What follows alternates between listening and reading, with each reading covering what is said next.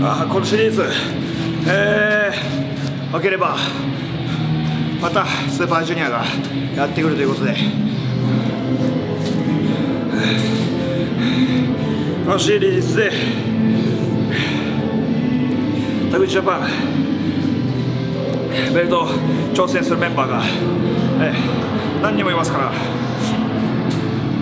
そのメンバーのアシストをね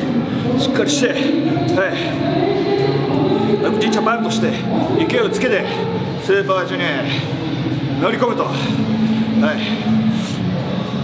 そういうシリーズですね、はい、一試合一試合。大切に頑張っていきます、はい、頑張っていきたいと思います。グギグギギガギガ、えー、今日からドンタクのシリーズがね始まって。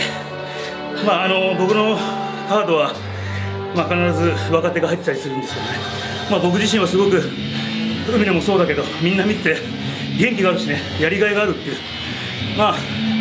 僕ももうかなりねキャリアを積んできてこういう選手でやるのも非常に辛い部分もありでも楽しい部分もありそして少しでもいいから何かを学んでくれればいいかなってのはあります。僕は何度も言うけど隣にいる永田さんが目標なんでね常にこういう永田さんのコンディションを維持してるというね本当にプロだなと思ってます。ありがとうございました。どうも。ありがとうございました。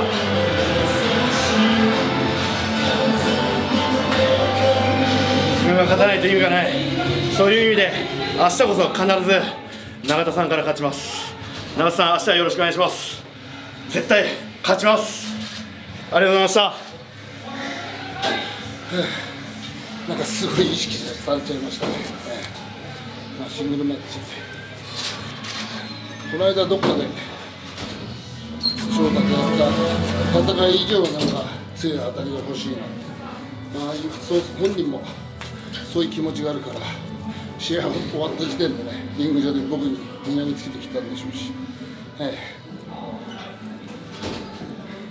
70まで現役やってやるなんてこれで言いましたけど。そういうものを覆すような若い人間の当たりがあると、はい、それで僕のその目標というかそういうものを潰せ潰せばいいじゃないですか若い選手のその当たりの強さで、はい、それならそれでいいでしょうしただ簡単に潰れるものではないですよ、10年20年まだまだこの状態を健在ぶりを見せつけますんで。